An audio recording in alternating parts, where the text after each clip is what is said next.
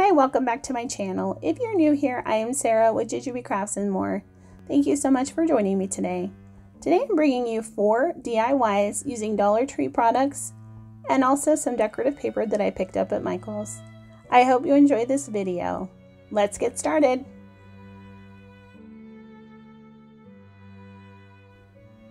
For our first DIY, we're going to use some of these stocking ornaments that I picked up at Dollar Tree. And then I picked out some paper that I really liked out of a couple of paper pads that I purchased at Michael's. Next, I'm going to take some Mod Podge and I'm just going to put a good coat of Mod Podge on the very bottom portion of these stockings using a paintbrush. We're going to do a, something a little different for the tops of these stockings, so don't put any Mod Podge up there right now.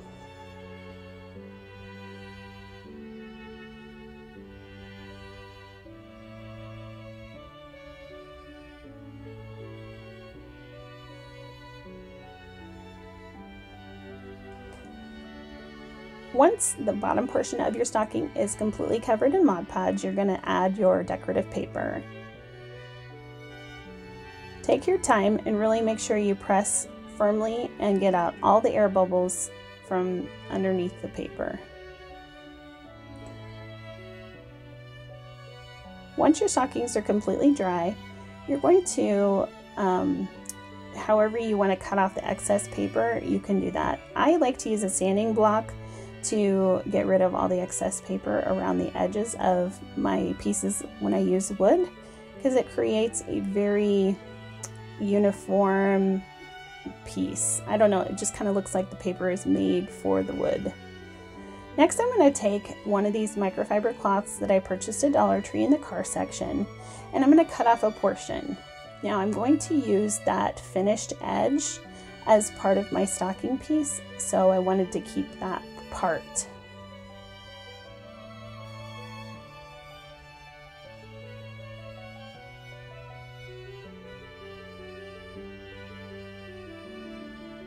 And here's that finished edge I was talking about.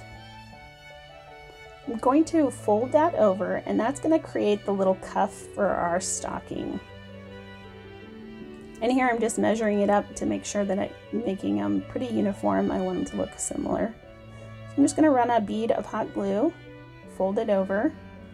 Be careful you don't burn yourself with this. I like to use one of these uh, silicone makeup sponges to help adhere my glue down sometimes.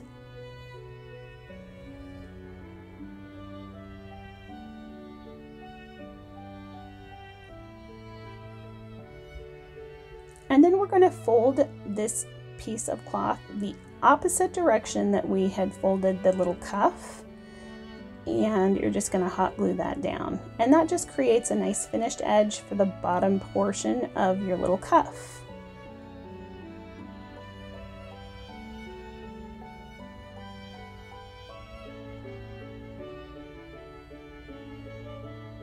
Next we're just going to add some hot glue to the top part of our stocking and then we're going to adhere that microfiber cloth right down and that creates our adorable little cuff for our stockings. Then just trim off any excess along the edges. And you can fluff it out with your fingers.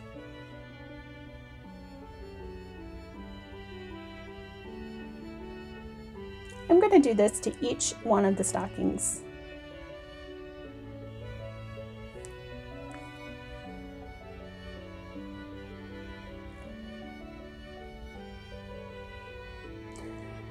Once that's all completed, I'm going to string on some beads. Um, I'm just using some wood beads that I purchased from Amazon, and I'm just going to string them onto some twine.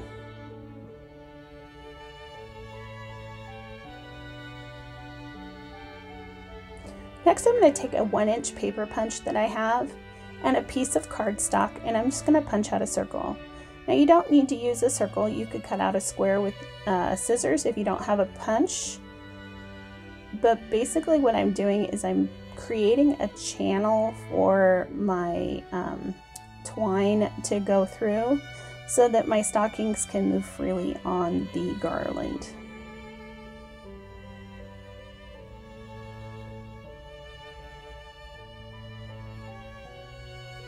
Using a little hot glue, I'm going to adhere the circle right onto the stocking over the top of the twine. Now make sure you don't get your twine in your hot glue because you want the twine to move freely back and forth underneath that circle.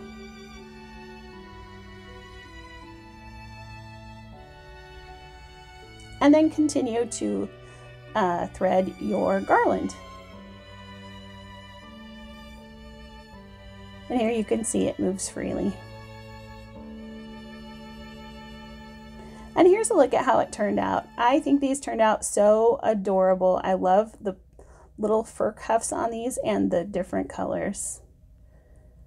For DIY number two, we're going to take one of these piggy bank boxes that you can purchase at Dollar Tree. And I'm going to take back take off the backing. Next, I'm picking out a paper that I got from a 6x6 paper pad that I also purchased at Michael's. And I'm just going to use the original backing that was in that box to figure out how much I need to cut off of that 6x6 paper pad.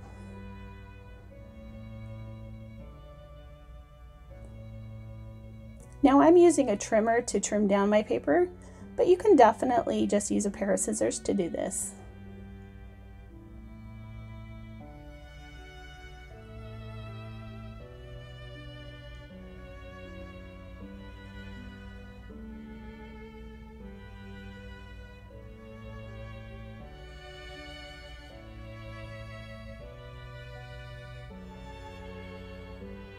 Next, I wanted to add some fairy lights to the inside of my box.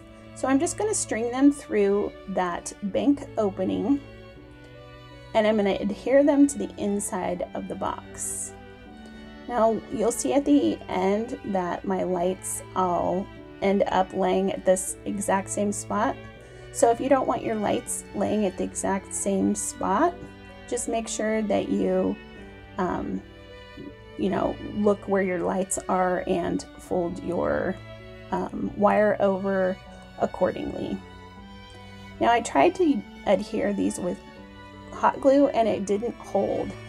So I don't know if the, um, I think it's kind of a plasticky um, frame and the hot glue just was not holding onto that frame. So you might want to either sand down the inside of that frame or I'm just using some glue dots to adhere it and that worked really well.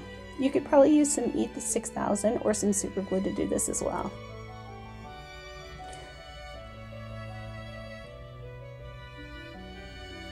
Now I lost the footage, but I decided to make the opening of the bank the bottom port part. So where you see that little hole, I do end up putting a craft stick over the top of that. Next, I'm taking a dryer sheet and running that all over the inside of the glass, and that way the faux snow doesn't stick to the glass.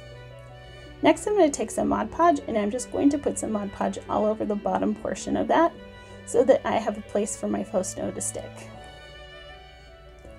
Then I'm just going to press the faux snow right into that Mod Podge.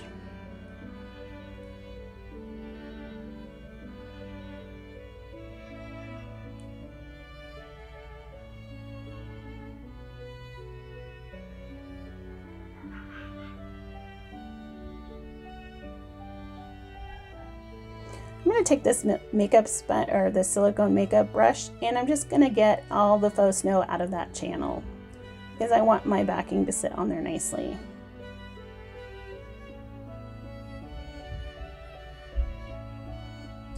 Next I'm going to take a sticker from this uh, sticker pad that I also purchased at Michael's and I just decided that it just needed a little something extra in the middle of the sign. So I found a really cute sticker to put in there and I'm just going to adhere that down.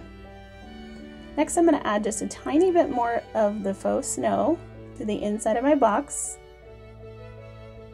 and then I'm going to put everything back into the box.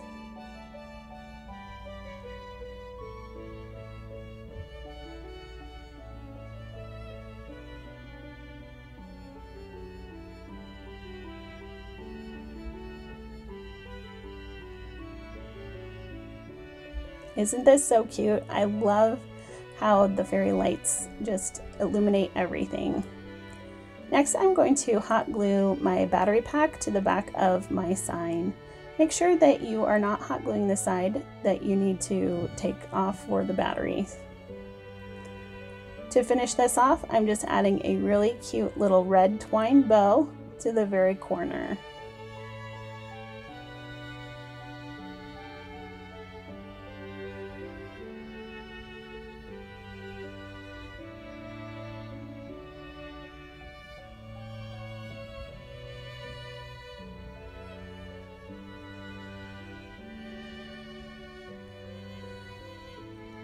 And here's a look at how it turned out. I think this is so adorable and I can't wait to put it up. For DIY number three, we're gonna take one of these ornaments that you can purchase from Dollar Tree and start, I'm gonna cut off the string and then take off that little metal part at the top because we are gonna reuse that. And here I'm just using my Cricut uh, tool to do that. And then we're just gonna pull off that burlap.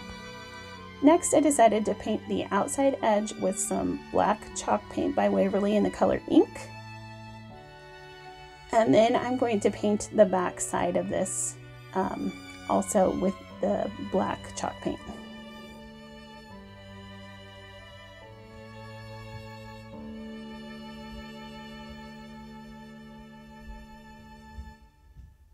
Next, I'm going to add some Mod Podge. Now you'll see that I'm adding Mod Podge onto the side that I painted, and that's because I messed up the other side and had to uh, turn it over and use this side. So this was originally going to be my back, but I messed it up, and so here we are using the back as the front. And I just picked out this really adorable paper that I had in a paper pad from Michaels. And I'm just going to attach that on top of the ornament. And then once the Mod Podge was dry, I used a sanding block to get rid of all the excess paper.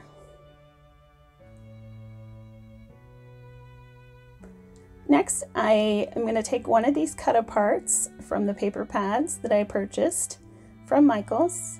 And um, I was playing around to see which one I wanted to put. And I ended up putting this Merry and Bright on here. Next, I found a, something round that I could trace with a pencil that was bigger than that Merry and Bright part so that I could get a nice round circle. And I'm just going to use my pencil to trace around this circle so that I've got a really nice line to cut out on.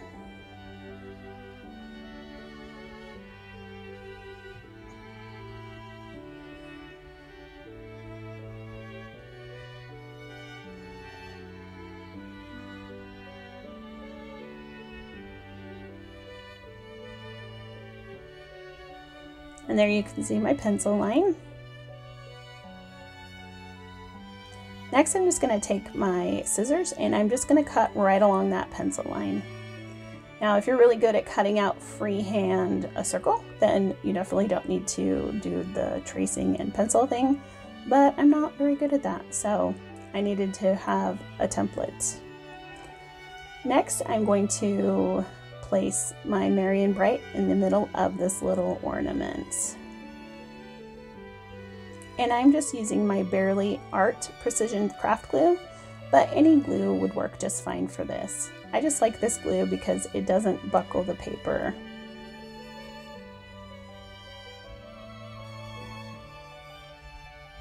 Next I'm going to take a pencil and I'm just going to pop that right through the hole so that um, I can add a hanger to this again, and then I'm going to hot glue that metal piece right back onto this ornament.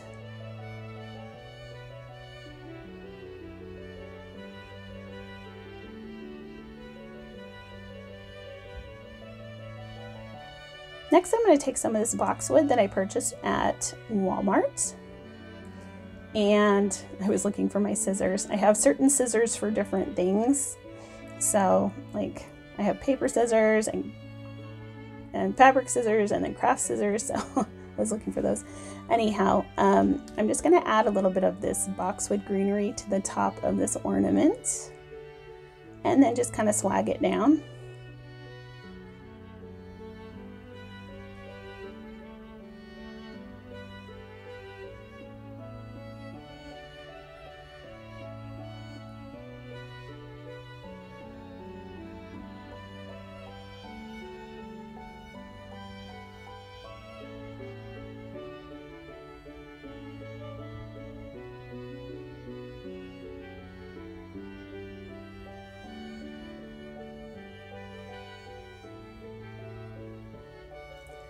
Taking some of the berry garland that I also got at Dollar Tree and I'm wrapping it around a pencil to create a little curly cuteness for the ornament here. it just adds a little bit extra texture and a pop of that white color. Just gives it a little more interest.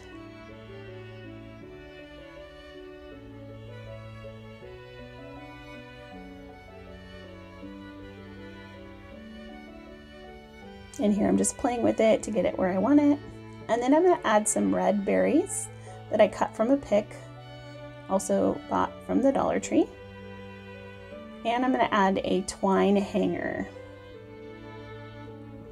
So I'm just cutting a piece of twine and then I'm going to fold it in half, poke the folded edge through the hole, and then I'm going to put the ends through that loop and pull tight.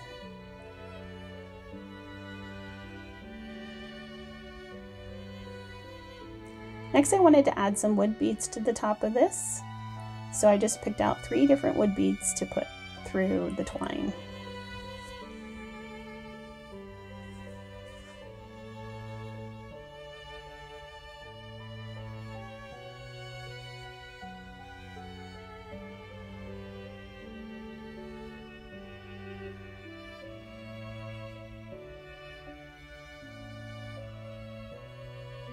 And then I'm just going to put a knot at the very top for so that I can hang it on either a tree or on my wall or a wreath or wherever I'm going to put this. I'm not sure yet, but I'm just going to tie a little knot at the top there.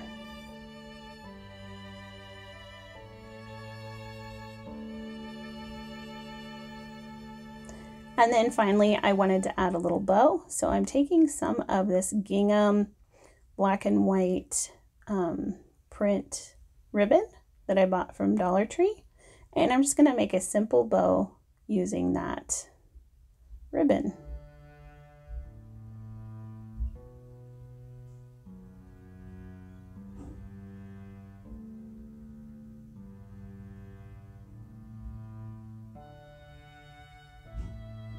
And I have to mess with bows for a thousand years before I get them right. Always, always, always. Next, I'm going to put the bow onto my ornament with a little hot glue. And then there was a little spot there that was kind of empty, and so I just found a small pine cone and I placed it right there as well.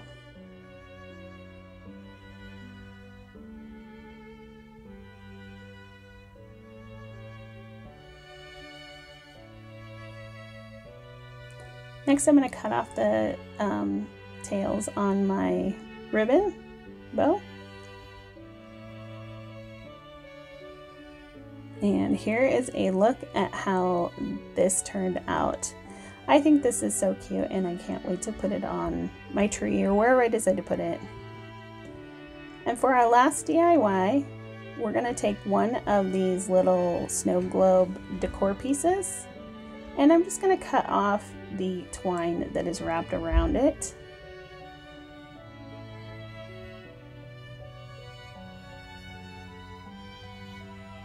And I took the stickers off the back of this and that's the side we're going to use.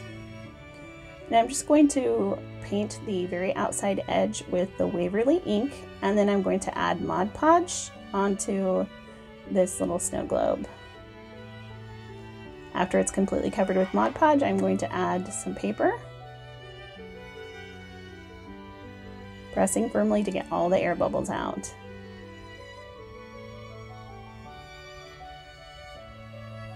And then I'm just going to use my scissors to cut around that. And here I wanted to have a little base for my snow globe, so I'm just using my fingers to push the paper around it so that I can get a good um, impression and I can cut the um, bottom portion of the snow globe out.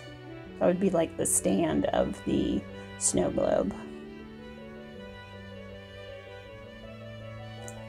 Next I cut out a circle from my Cricut um, that was the same size as the snow globe. And I'm just going to trace around the circle on the piece of paper that I want inside my snow globe. You'll see in just a second what I'm talking about. It'll make sense in just a second. So then I'm going to cut these cute little snow people out. And yes, I know that that very edge is a little funky, but it will get covered up. So I wasn't worried about that at all. And this was a circle that I cut out on my Cricut. And I'm just going to apply that to a piece of acetate, clear acetate. So I'm just using my art glue and I'm just adhering that right down onto that acetate.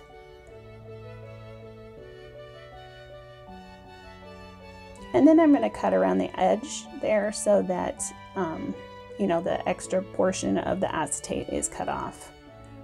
We don't want that hanging out over the edge. And what we're making is a shaker snow globe. So I just was, am going to adhere the cute little snow people in or onto the snow globe using my Bearly Art Precision Craft Glue.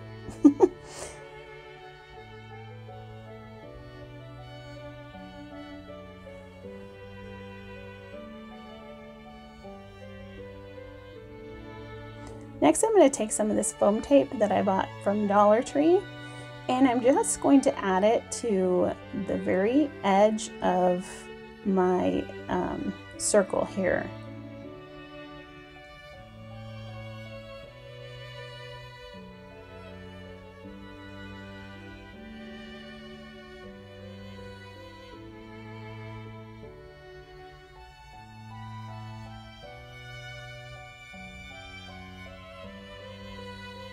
I'll do two layers of this foam tape.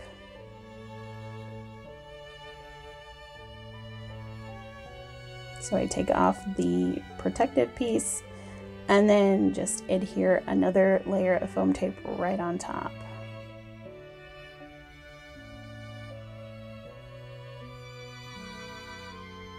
Next I'm going to fill my shaker up with some sequins and um, large glitter pieces.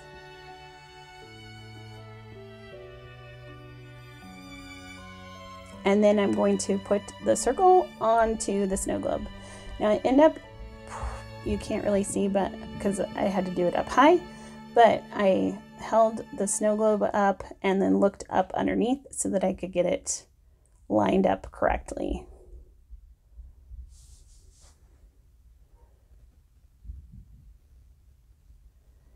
And there's our little shaker. Everything is secured in there.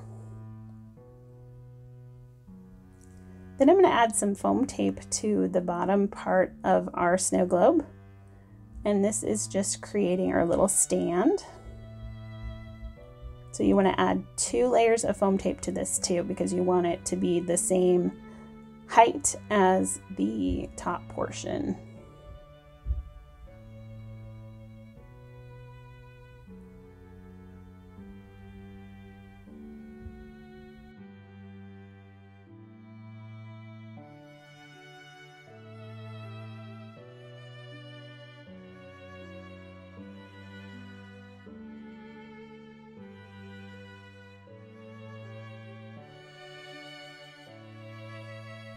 Next, I'm going to take this little sticker that I found for my sticker pad, and I'm going to place that right onto the base, just to add a little bit of cuteness to it. And then to finish this off, I'm going to add a little twine bow to the corner.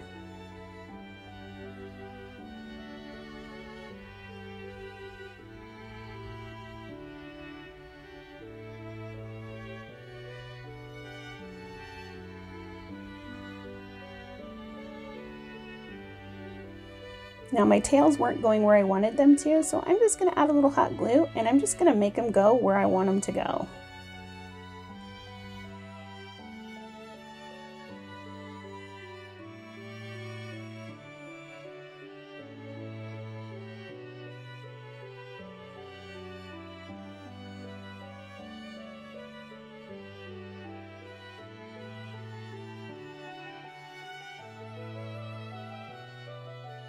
So here is a look at how that turned out. Thank you so much for joining me today. I really appreciate it. I hope you liked this video. Please give me a big thumbs up, subscribe, and share if you think anybody you know would like to see this video. I really appreciate you and I'm so thankful for you. I hope you have a great, happy, and blessed day. And until next time, bye!